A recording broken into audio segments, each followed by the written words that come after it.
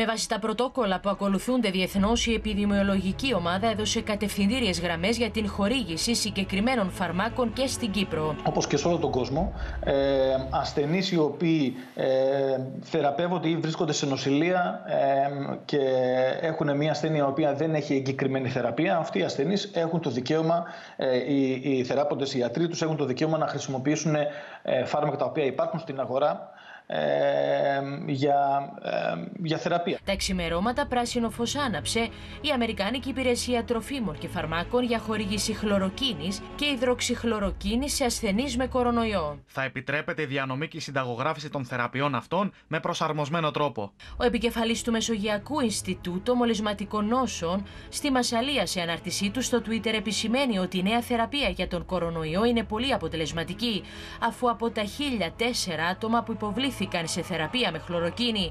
Τα χιλιατρία θεραπεύτηκαν και ένας ασθενής πέθανε. Αδιευκρινίστο παραμένει ακόμη αν οι καιρικές συνθήκες βοηθούν τον ιό να κρατηθεί ζωντανός. Έρευνα πάντως του Πανεπιστημίου Μέριλαντ έδειξε πως ο ιός έχει μεταδοθεί σε πόλεις και περιοχές του κόσμου, όπου οι θερμοκρασίες ήταν από 5 μέχρι 11 βαθμούς με σχετικά χαμηλά επίπεδα υγρασίας. Από την άλλη, η επικεφαλής ερευνήτρια του Γαλλικού Ινστιτούτου Υγείας και Ιατρικής Έρευνας υποστηρίζει πως δεν υπάρχει απόδειξη για την εποχική συμπεριφορά του COVID-19.